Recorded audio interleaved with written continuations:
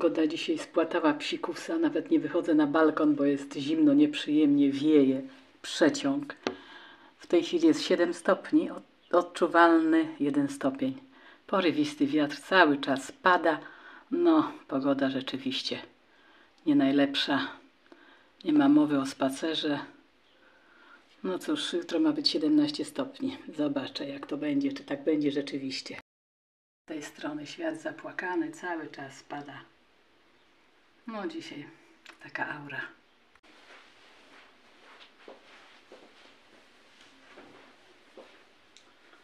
Dzień dobry, witam serdecznie na moim kanale i zapraszam na mój nowy film. Dzisiaj kawka, raz kawa, raz herbata, ale dzisiaj wyjątkowo kawa. Z mlekiem. Pogoda dzisiaj fatalna, wszędzie chyba, tak macie wy też. Zimno, deszcz pada. No rzeczywiście, o spacerze mowy nie ma, bo kto by tam chciał wychodzić i, i moknąć.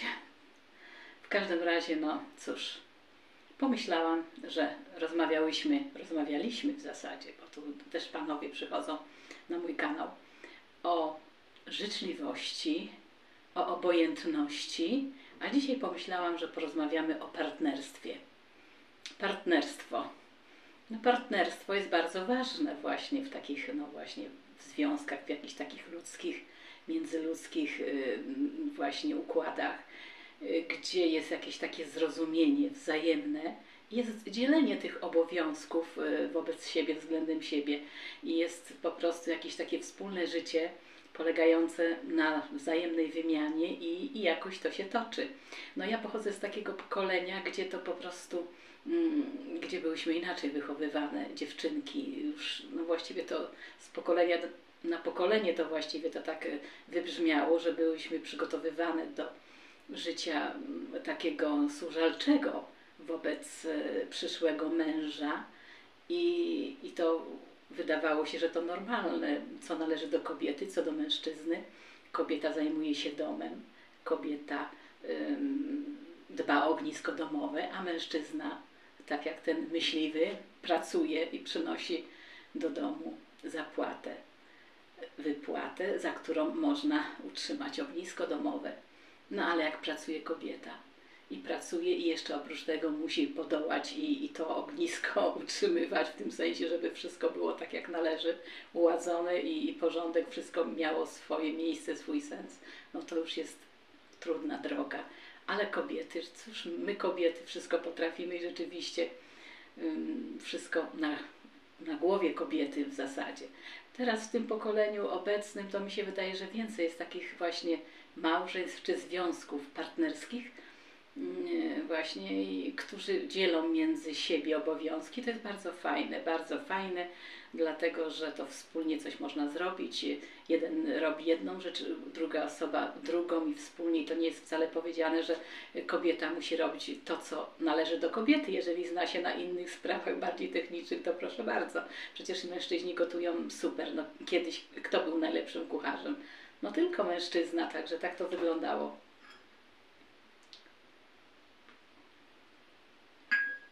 Ja, ja dzisiaj, właściwie dzisiaj i dzisiejszy y, film u Madzi, Nasza Odwaga i, i poprzedni o samotności. Madzia bardzo, no, bardzo fajnie, no, świetnie ujęła właśnie ten temat. No ja właśnie mm, wysłuchałam, obejrzałam i, i tak sobie pomyślałam, że jakie to ważne jest, y, żeby umieć się odnaleźć w takiej samotności. Ja mówię na, ze swojej perspektywy oczywiście, ponieważ ja mm, jestem sa, samotna 12 lat już. 12 lat jak e, zmarł mój mąż e, po długiej czteroletniej walce z chorobą. I wtedy tak sobie przypominam, że warto właśnie mieć jakieś pasje, jakieś hobby, które, które pomogą przejść ten czas. I o co, o co chodzi w tym wszystkim? Chciałam powiedzieć, że, mm, że niektóre kobiety mają w sobie coś takiego, że żyją w związku małżeńskim dla męża, dla mężczyzny. Po prostu żyją jego marzeniami, jego wyobrażeniami, robią to, co on by uważa za stosowne, to, co on by chciał, a gdzie są ich marzenia. I się okaże, gdy taka osoba odejdzie, okaże się, że jesteśmy po prostu, że jest pustka. bo nie mamy nic. Nie mamy żadnej pasji, nie mamy żadnego hobby, nie potrafimy się niczym innym zająć, bo żyliśmy tylko dla tej osoby konkretnej. By, byłyśmy po prostu, mówią, że to taka kobieta jest jak gdyby uczepiona mężczyzny, bo po prostu no, nie myśli o sobie. A trzeba być troszeczkę taką egoistką i pomyśleć o sobie, to w tym sensie, w dobrym sensie tego słowa znaczeniu, żeby nie uczepiać się tak, tak tej drugiej osoby, tylko po prostu mieć swoje jakieś marzenia, jakieś plany, jakieś zamiary. Jeżeli się nie ma jakiejś pasji, hobby, to nauczyć się czegoś, coś sobie, jakieś zadanie sobie nałożyć, żeby do tego dążyć i je wykonać. Ja pasję miałam cały czas i robiłam na drutkach, na drutach, robiłam i, i czytałam. Dużo czytałam, ale muszę Wam powiedzieć, że, że właśnie to się tak robi, coś z psychiką, że ja po śmierci męża przez dłuższy, przez dłuższy czas ja nie mogłam czytać książek, po prostu ja nie wiedziałam o czym czytam. Ja przeczytam parę kartek i zdałam sobie sprawę, że ja nie pamiętam, co było wcześniej, bo moje myśli błądziły gdzieś indziej po prostu. Myślami byłam gdzieś daleko, a tak pobieżnie, tylko tak wzrokowo, no to oczywiście, że o tym się nie pamięta i cofałam się i doszłam do wniosku, że nie, na jakiś czas ja muszę zarzucić to czytanie. Już nie pamiętam, jaki to był okres, nie krótki, no ale, ale po prostu dałam sobie taką, zrobiłam sobie taką przerwę, bo doszłam do wniosku, że, że to jest mi po prostu potrzebne.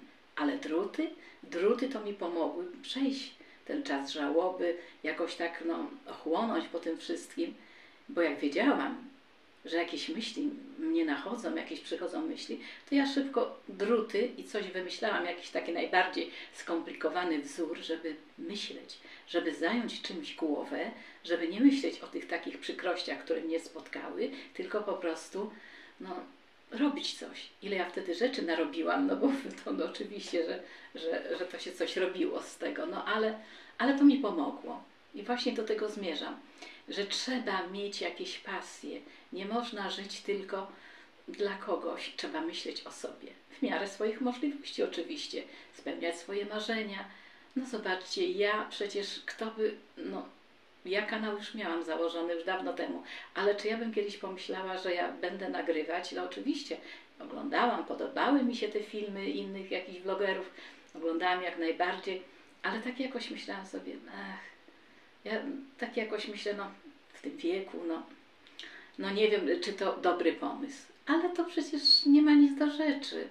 Przecież ja nic złego nie robię. Pokazuję cząstkę swojego życia, to co robię, bo to co ja pokazuję to jest wszystko prawdziwe, realne. Ja pokazuję to co gotuję, to gotuję sobie na obiad czy na dwa, czy nawet jeżeli coś konkretnie ugotuję, to nawet nieraz i na trzy dni mam, bo to normalne jest. Także spacery, mm, moje robótki, coś powiem do Was parę słów, to jest wszystko prawdziwe, to nie jest nic udawane. Ja nawet, widzicie, ja nawet jak do Was mówię, ja nie przygotowuję nic, ja nie piszę, ja nie piszę na kartkach, ja nie, ja nie robię żadnego scenariusza, bo to, ja nie chcę czegoś takiego, ja chcę, żeby to było takie normalne, taka rozmowa. Spotkam się z Wami i rozmawiam z Wami, tak samo jakbym na ulicy spotkała się z Wami i spotkam się z kimś i ktoś się pyta, co słychać u Ciebie, jak się czujesz, a ja wyciągam kartkę i czytam, wiesz, dzisiaj było mi tak, tak, jutro czytam rano tak, po południu tak, no to, no to, to, to na tej zasadzie właśnie działa, że po prostu ja chcę taką normalną rozmowę bez żadnego tam układania. Nieraz mogę się pomylić oczywiście, nieraz coś wytnę, bo, bo, no bo rzeczywiście nieraz coś jakoś tak, jakoś jakieś złe ujęcie jest, no to to normalne jest, jak się film montuje i przygotowuje. Ale zmierzam do tego, co mówiłam. Ważne jest właśnie, żeby, żeby właśnie w takim związku partnerskim dzielić między siebie obowiązki i nie spełniać marzeń drugiej osoby. Nie spełniać, chyba, że ta osoba spełnia nasze marzenia. O to tak. No to wtedy rozmawia się o marzeniach i wtedy ja marzę o tym, ty marzysz o tym. No to dobrze, teraz spełniamy Twoje marzenie, później spełnimy moje marzenia, to, to, to jest wspaniała sytuacja, to jak najbardziej. To jest super sprawa. Ale jeżeli osoba, partner czy partnerka, bo to działa w dwie strony, tylko wymaga, a nic od siebie nie daje, o to nie. To krótka droga, to po prostu nie. Nie można się tak jak gdyby uwięzić emocjonalnie, no bo to jest w jakiś sposób uwięzienie, że nie możesz być sobą. Nie możesz być sobą, bo masz zakazy. To nie, tamto nie, o wam to jeszcze nie. No to nie, no to nie może tak być. No i tak mi się właśnie przypomniało, że, tak, że chciałabym z Wami porozmawiać na temat właśnie takiego partnerstwa. Co Wy o tym sądzicie? Bo każde Wasze zdanie jest ważne. Ja wszystkie czytam Wasze komentarze, jak wiecie. I to jest ważne, bo wiele wnosi do takich spraw. Każde inne spojrzenie jest ważne, bo każdy inaczej życie przeżywa, ma inne doświadczenia życiowe i zawsze coś ciekawego napisze. Także dziękuję Wam pięknie. Trzymajcie się zdrowo, miłego weekendu, miłej niedzieli. Na razie. Papa. Pa. Dzisiaj będzie takie delikatne danie, ale bardzo smaczne. Młode ziemniaki, cukinia. Cukinia będzie w formie takiej mm, z panierką. Będzie pokrojona na plasterki z panierką. Mizeria, jogurt grecki, śmietana do mizerii, pół na pół, no bułka tarta, koperek. Biorę się do dzieła.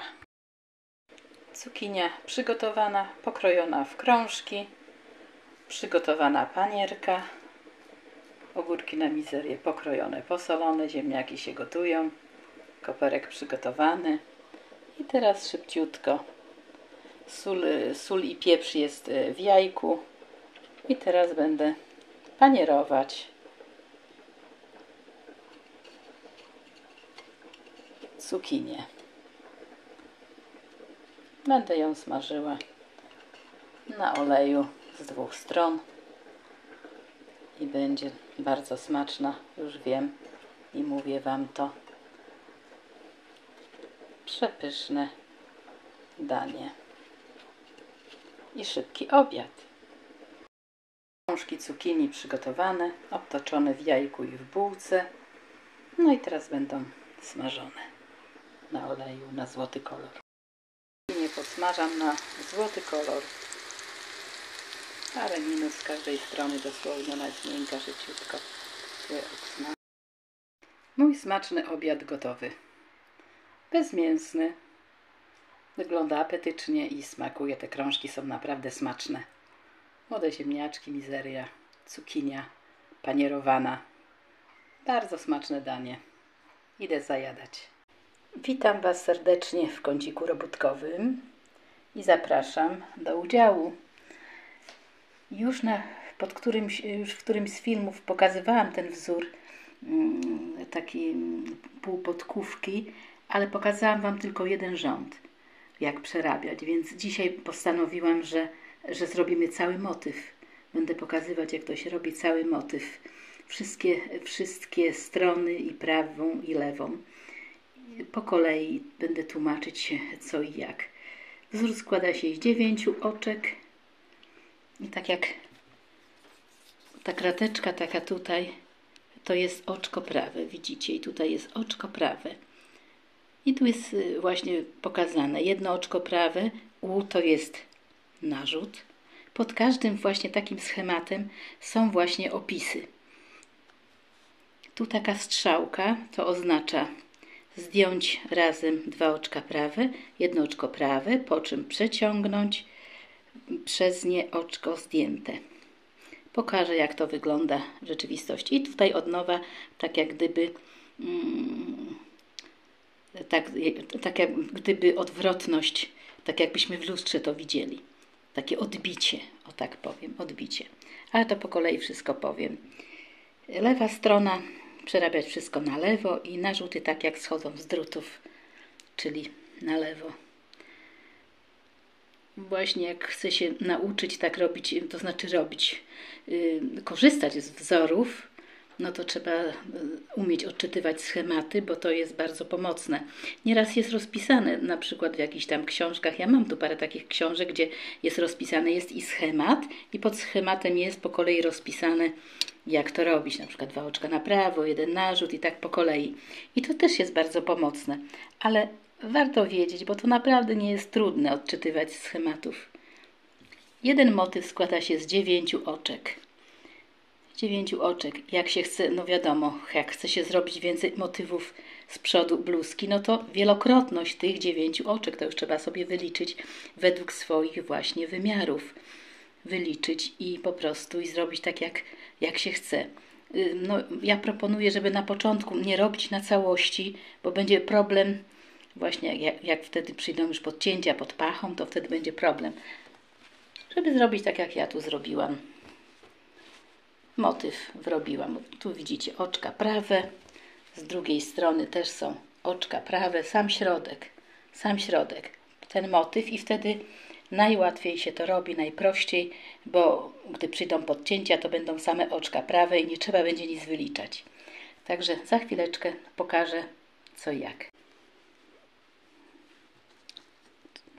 No i zobaczcie, już tutaj przygotowałam ściągacz, żeby właśnie, żeby Wam pokazać. Zrobię próbkę, to będzie jeden motyw zrobiony.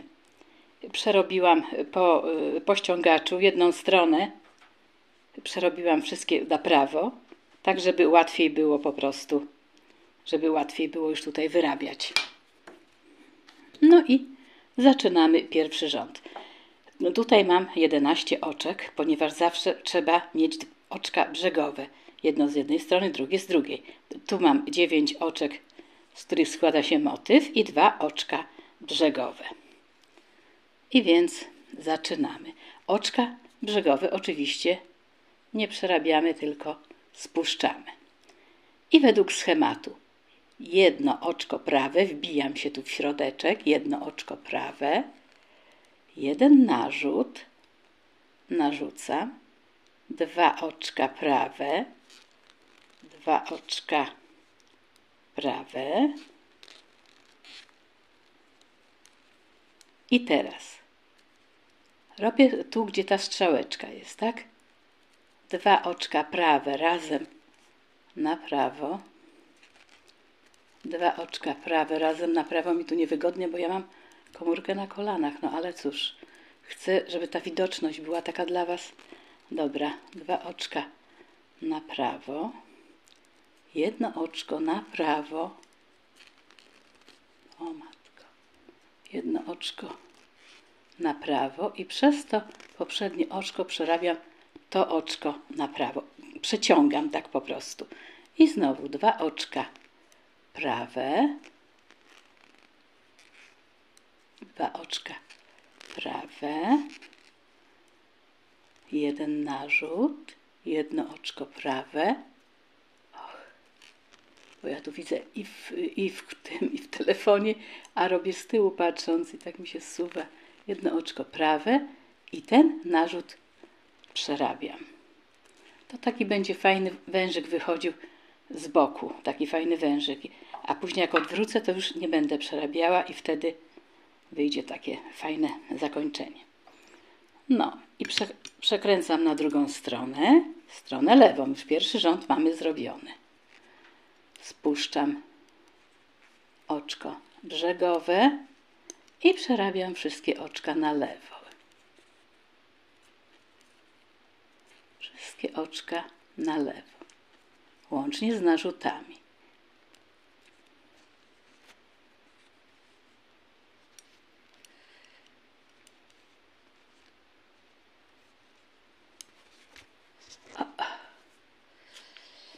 Oczywiście na żółty to trzeba patrzeć, żeby, żeby nie zabudować dziurki, tylko przerabiać tak niżej. O widzicie?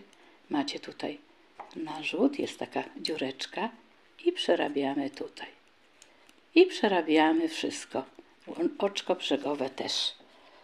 No jesteśmy w drugim rzędzie. Już te dziureczki tu mamy, widzicie? Jedna i druga. I jesteśmy w drugim rzędzie. Pierwsze oczko brzegowe spuszczamy bez przerabiania. I teraz mamy dwa oczka prawe. I już nam tu wychodzi, bo tu już mamy dziurkę i tu musimy zrobić kolejną dziurkę. Dwa oczka prawe, dwa oczka prawe, jeden narzut, jedno oczko prawe i tutaj już, już tu mamy, już wzór nam wychodzi fajnie. Dwa oczka prawe, jedno oczko prawe i przeciągamy przez to oczko. I teraz mamy jedno, przeciągamy jedno prawe, narzut,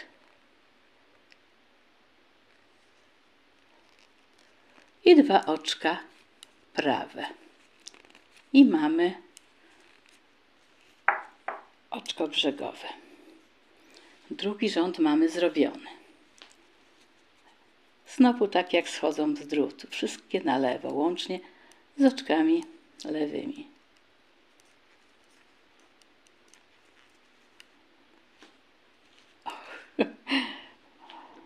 Złośliwość rzeczy martwych, widzicie jak to jest?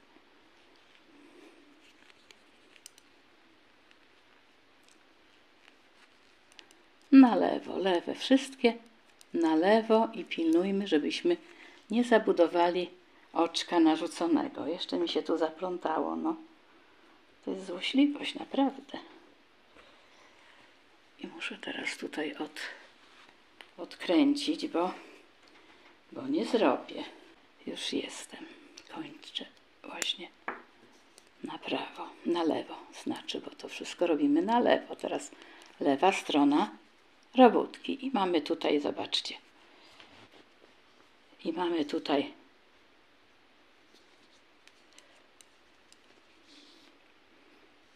muszę jakiś inny sposób opracować na to pokazywanie, bo takie jest, mamy na lewo oczko i na dole łapiemy, żeby, żeby tej dziurki nie zabudować. I tym sposobem mamy zrobione dwa rzędy. Dwa rzędy, robimy trzeci rząd. I tutaj już nam będzie wychodzić po prostu wszystko tak jak potrzeba. Jedno oczko spuszczamy. Muszę tu poprawić, bo jedno oczko spuszczamy i robimy tak. Dwa oczka prawe, dwa oczka prawe, jeden, jeden narzut, jedno oczko prawe. Jeden narzut, jedno oczko prawe. I widzicie, już tu dziurki nam wychodzą. Jeden, dwa, już te dziureczki nam wychodzą. Jedno oczko prawe, dwa oczka razem. Tu jest taki widoczny w tym wzorze, zobaczcie, już się tak układa ten środek taki łańcuszek i przed tym zawsze musi być prawe oczko i wtedy bierzemy je razem, dwa oczka prawe, potem też mamy oczko prawe i przeciągamy przez to poprzednie oczko. I mamy jedno oczko prawe, jeden narzut, dwa oczka prawe, i jedno oczko brzegowe. I znowu robimy lewą stronę. I znowu robimy lewą stronę.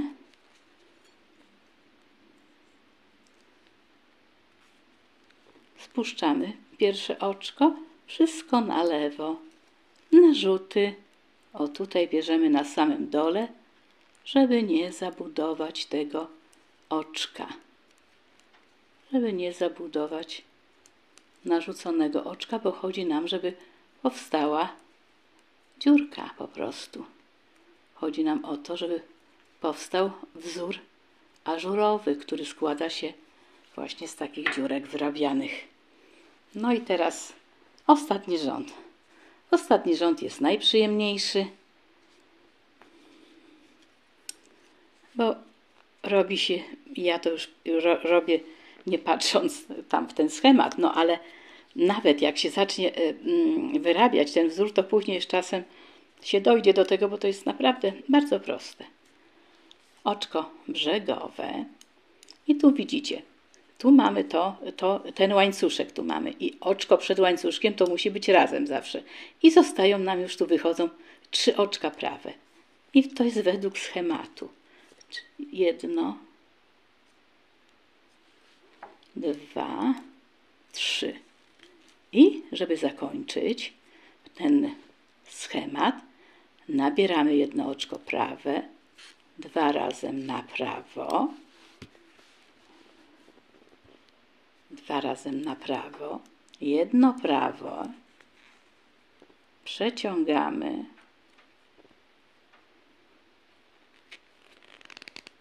przeciągamy przez to oczko prawe, dalej mamy jeden narzut, trzy prawe, trzy prawe. I jedno oczko brzegowe. I zostanie nam i zostanie nam i zostanie nam strona lewa. I będzie jeden motyw zrobiony. Robimy konsekwentnie stronę lewą. Tu coś ściągnęłam za bardzo. Stronę lewą. Wszystkie na lewo. Narzuty. Pilnujemy, żeby ta dziurka nie była zabudowana. Ja powtarzam do znudzenia, ale dla początkujących to jest ważne właśnie, bo później okaże się, że to wyjdzie coś, tylko że to nie będzie wzór ażurowy, tylko to będzie wyjdzie wzór, ale on będzie zabudowany. I tym sposobem zrobiliśmy jeden motyw. Jeden motyw. Zobaczcie, są trzy dziurki, które idą w ten sposób i tu idą w ten sposób. No i teraz robimy nad tym następny motyw. I tak po kolei robimy wszystkie, wszystkie te motywy. Pierwszy rząd, drugi, trzeci, czwarty, piąty, szósty, bo to z sześciu, z sześciu stron się składa, prawa, lewa. A teraz, jak chcemy, żeby właśnie ten motyw zrobić na jakiejś bluzeczce czy sweterku, wrobić go, no to wielokrotność tego wzoru, tak jak mówiłam, wyliczyć sobie wielokrotność i tak robić. Dziewięć, oczka brzegowe są tylko na początku i na końcu, później tylko dziewięć, dziewięć, dziewięć, dziewięć, dziewięć, dziewięć, ile chcemy i po kolei właśnie tym schematem robić. Można też sobie rozpisać, jak się nie chce patrzeć na schemat, no to sobie rozpisać. Pierwszy rząd, jedno oczko prawe. Ja mogę Wam właśnie powiedzieć zaraz, jak to, jak to można rozpisać. No to zaraz zobaczymy.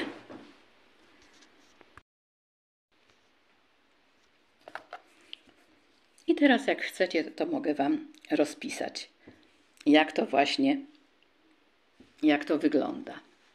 A więc pierwszy rząd. Jedno oczko prawe, jeden narzut, dwa oczka prawe, strzałka to czyli zdjąć razem dwa oczka prawe, jedno oczko prawe, po czym przeciągnąć przez nie zdjęte oczko. To Wam pokazywałam, jak to się robi dwa oczka prawe, jeden narzut, jedno oczko prawe.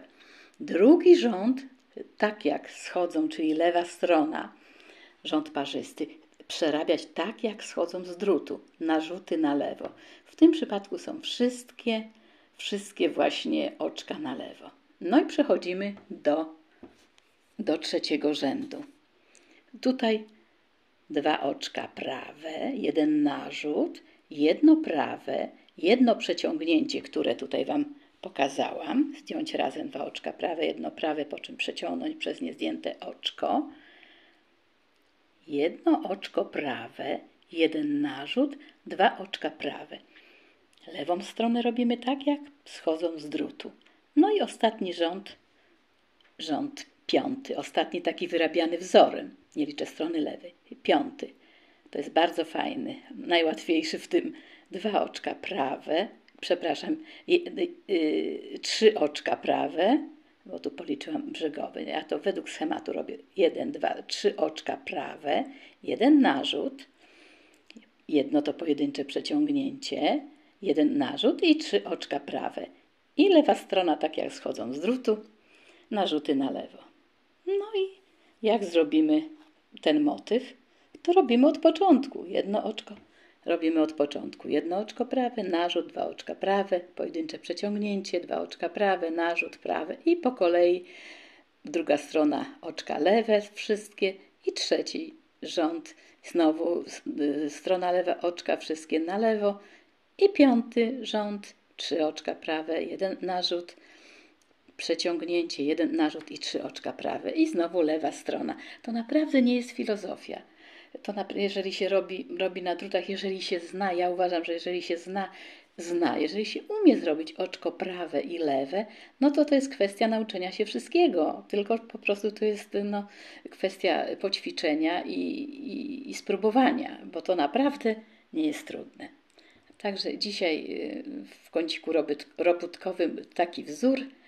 No, myślę, bo tak właśnie pomyślałam, że poprzednio pokazałam Wam tylko ten jeden rząd. Tylko ten jeden rząd. Więc no, może ktoś chce zrobić, a nie wie jak dalej, więc dlatego postanowiłam, że zrobię cały schemat i pokażę, jak zacząć następny, żeby po prostu, no, żeby, żeby była taka jasność w tym wszystkim. Także dzisiaj to będzie tyle. Dziękuję Wam pięknie za uwagę. Na razie.